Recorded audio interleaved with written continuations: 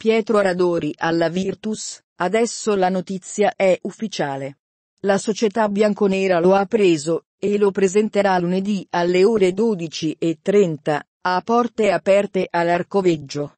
Il campione bresciano, in azzurro dal 2010, è ufficialmente un giocatore bianconero, annuncia il club, e vestirà dalla prossima stagione la canotta di Virtus e Gaffredo, per contribuire a riportare la V nera nella elite del nostro basket. Ha scelto di scendere in campo con il numero 21. Anche Alessandro Gentile, fratello di Stefano ingaggiato per gli ultimi recenti e vittoriosi playoff, è a un passo dalla V nera.